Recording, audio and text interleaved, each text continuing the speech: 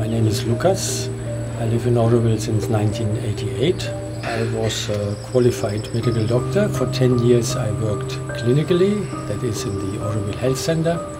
During my times as a doctor in the health center, I realized that we had to do much more in regard to preventive medicine, public hygiene, public health, environmental health. Now since 2007 my activities are under the umbrella of EcoPro, which I founded and we run projects in regard to solid waste management, organic farming, sanitation, water resource management, soil management, basically.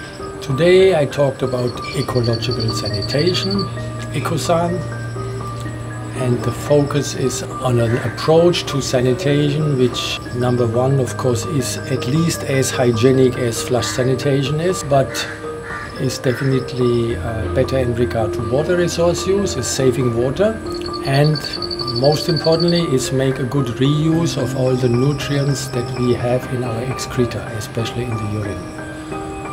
And there are many different technologies and techniques to go about this, and we today I talked mainly about one, the urine diversion dry-toilet, of which we have built uh, quite a number in a few villages here.